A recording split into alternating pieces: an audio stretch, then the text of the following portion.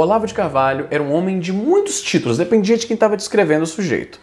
De um lado, os admiradores do escritor o chamavam de professor, com uma certa reverência, né? filósofo era outro termo que era geralmente usado para o descrever, com muitas controvérsias. Né? Do outro lado, ele era chamado de maluco, teórico da conspiração, mais recentemente, por causa da pandemia e seus pronunciamentos a respeito dela, de negacionista também, o que não é de se surpreender, porque a direita brasileira meio que se. Não só a brasileira, mas a direita de forma geral, ela se evidencia por esse, esse negacionismo de ciência. Seja a pandemia, seja o impacto antropogênico no clima do planeta, não importa qual seja o debate, se cientistas dizem uma coisa, tipicamente o pessoal da direita tende a, a, falar o contrário. E, e, geralmente por birra. A influência do Olavo de Carvalho no debate político brasileiro é difícil de quantificar, mas pode ter certeza que vai perdurar por gerações.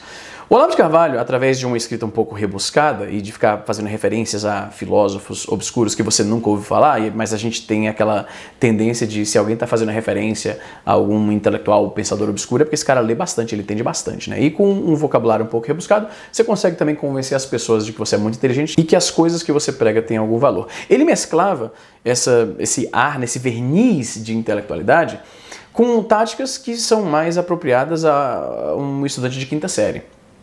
Ele gostava muito de xingar os seus detratores, os seus críticos. Ele, ele misturava essas duas coisas, essa, essa suposta intelectualidade com comportamento agressivo. Parecia que ele não sabia moderar bem as suas emoções, né? chegava xingando e tal. Isso se normalizou entre os seus seguidores. E aliás, não só isso, mas quando você observa alguns dos seus seguidores, até aquela aquela escrita meio rebuscada, mas que não chega a lugar nenhum, porque era, era bem típico do, uh, da redação dele. É algo que você observa também nos admiradores do cara. Não, então eles não emulavam só essa postura de confronto com os seus críticos, mas até aquele palavreado rebuscado que você bate o olho e você se pergunta se a pessoa que está escrevendo aquilo realmente entende, se aquilo fez sentido para ela. Tem um dos, dos, filhos do presidente, eu esqueço qual porque eu fui bloqueado por toda a família no Twitter, então eu não consigo mais acompanhar tão de perto como eu acompanhava antes de começar a criticá-los. Mas tem um, eu acho que é o, não sei se é o Carlos o seu Eduardo, que ele manda uns tweets com, com, palavras que eu realmente não sei se ele entende o que ele está escrevendo ali. Tem tweets desse maluco que parecem aquela frase para ativar o soldado invernal, manja, do, do, MCU. Um monte de, de palavras, sou gerador de lerolero do caralho. E no final das contas, essa é a principal influência do Olavo de Carvalho no debate político brasileiro. E quem acha que ele não foi imensamente influente está apenas se enganando. Ele não foi o principal responsável por isso, com certeza não, mas a influência do Olavo de Carvalho, eu diria que foi fundamental na eleição Jair Bolsonaro em 2018. E até hoje ele ainda goza de muita, muito respeito dessa comunidade. Tanto é que quem está lamentando a morte dele é só essa galera do núcleo bolsonarista. O próprio presidente já se pronunciou, vários dos seus ex-alunos. Ah, ele foi inclusive cotado para ser ministro da Educação. É curioso porque ele se vendia como um patriota e é assim que ele é identificado pelos seus admiradores. É meio difícil argumentar que é um grande patriota quando você não quer morar no Brasil. Apesar dele próprio não ocupar a vaga de ministro da Educação, ele indicou alguns de seus seguidores para posições de ministros, ele orientava o próprio presidente. Eu não sei quando exatamente o Bolsonaro conheceu a obra do Olavo de Carvalho, mas toda vez que eu vejo ele sendo tão combativo, xingando e tal, eu não. A, primeira coisa que eu penso, como ele claramente admirava muito o, o, o Olavo de Carvalho, eu penso, eu acho que a influência foi aí, né? Deve ter sido aí. O Olavo de Carvalho ele foi um dos principais responsáveis por essa queda brusca no nível do debate político brasileiro. E, por motivos que eu jamais vou entender, seres humanos, adultos, viam esse tipo de comportamento de quinta série e achavam isso da hora. Eu entendo você achar isso legal, sei lá, num filme, numa série, numa novela, no Big Brother, mas de supostos grandes líderes intelectuais que estão moldando o caráter e a direção de políticos e tal, eu não sei se isso é exatamente o melhor. Naturalmente, a internet está dividida entre as pessoas que estão celebrando a morte do Olavo de Carvalho e pessoas que acham que isso é simplesmente falta de empatia. E olha, não há dúvidas que a contribuição do Olavo de Carvalho para o cenário político brasileiro é terrível. E isso vai perdurar por muito tempo, porque ele tem vários seguidores, várias pessoas que agora estão dando seus próprios, seus próprios cursos de filosofia por aí, se elegendo a cargo político, um deles ao maior cargo político do país. Então, o legado dele vai perdurar por muito tempo. Pelo menos hoje em dia, a gente vê mais críticas ao comportamento dele do que via ali pelo meio, meio dos anos 2000, que foi quando eu fiquei conhecendo o trampo dele. O nome dele era citado em comunidades do Orkut que debatiam história, sociologia, economia, esse tipo de coisa, e era sempre em um tom muito ah, de reverência. Quando se falava de Olavo de Carvalho, ah, você tem que ler isso aqui, ver esse livro, ver esse cara, que, que, Olavo tinha razão. Quando você vê esse tipo de coisa solto a esmo no Orkut, tipicamente não tinha tanta gente refutando o que ele falava, porque ele ainda era relativamente desconhecido naquela época.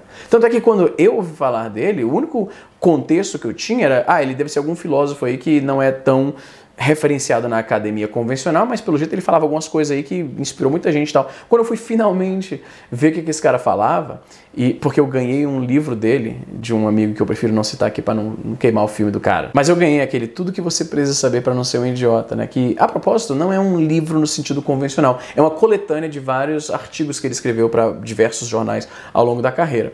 E quando eu li aquele livro, Uh, era esquisito essa obsessão que ele tinha com a suposta conspiração comunista que se esconde por trás de. Me lembra, sabe o quê? Me lembrava aquela, aquela obsessão uh, neopentecostal de que tem uma conspiração satânica por todo canto. Então, esse desenho animado ó, tem uma mensagem satânica ali. E essa banda, mensagem satânica ali. Era muito do mesmo, só que em vez de mensagem satânica, era mensagem comunista. Ele achava que o comunismo está à espreita, está só aguardando para atacar e para destruir a família, a religião e tudo mais. E ele tinha uma estranha preocupação com a homossexualidade. Era bem freudiana, na verdade. Para mim, pessoalmente, eu acho que é em mau tom celebrar a morte uh, do cara. Eu não condeno ninguém que faça isso e eu entendo os motivos. Eu entendo que a contribuição desse cara para o cenário político brasileiro é, é, é terrível e contribuiu para colocar Jair Bolsonaro uh, lá em Brasília. Na verdade, não em Brasília, porque ele era deputado federal, então em Brasília já estava. Mas você entendeu o que eu quis dizer. Sem contar que ele influenciou muita gente ao negacionismo científico referente às vacinas, à própria pandemia, coisa que ele negou até o final da sua vida. Então, ele foi diretamente responsável por sofrimento de pessoas no Brasil. Então, não há dúvida disso. Mas só que eu acho que se eu, pessoalmente, tá? Se eu celebrar a morte de um cara como Olavo de Carvalho, isso vai agir contra os meus próprios argumentos em relação à empatia no futuro. Eu, eu sei que se eu ficasse que nem eu vi alguns dos meus colegas na internet celebrando pra caralho, cacete, eu sei que, mano, a próxima vez que você quiser argumentar qualquer coisa sobre empatia, as pessoas vão jogar isso na sua cara. Então o seu argumento vai ficar enfraquecido por causa disso. Então, por mais que eu ache um cara deplorável, eu acho que para mim não vai pegar bem fazer um negócio desse, então, eu mas também não condeno quem faz. Um sujeito que fez pouco caso das vítimas uh, em Manaus, que estavam morrendo sem oxigênio e tal, é alguém que né, abdicou da cortesia de ter a sua própria morte tratada com respeito. Eu entendo esse argumento, eu entendo perfeitamente. Eu não o faço. Por mais que eu mesmo não faça esse argumento, eu entendo. E soa como extremo cinismo a galera bolsonarista que apoia um sujeito que falou coisas como, e daí, vou fazer o quê? Não sou coveiro, uh, que nunca teve respeito com morte de ninguém. Me surpreende muito essa galera se agindo como, ah, não, como você, como você pode falar isso? Isso é tão ofensiva. Agora eles querem o tipo de coisa politicamente correta, como por exemplo ser respeitoso com alguém na sua morte e tal, soa como, como cinismo, né? Mas também dessa galera eu não espero nada de coerente ou, ou de honrado. Mas também dessa galera eu já não espero mais nada de coerente. Então, mas é isso. O que, é que você acha da situação? Você tá do lado da galera que tá zoando, tá rindo, tá celebrando mesmo? Você tá do lado da galera que, mesmo o cara sendo deplorável, não vale a pena? Uh, zoá-lo? O que, que, que, você acha em relação a isso? Coloque aí embaixo, como sempre, nos comentários. Para quem não sabe, todo dia, uma da tarde, horário de Brasília, estou lá na Twitch, fazendo lives reagindo a maluquice da internet, ocasionalmente jogando joguinhos com o pessoal que assiste. Eu tenho um canal de tecnologia, o Easy Mode, todos os links estão na descrição. E é isso, gente, vou ficando por aqui e até a próxima.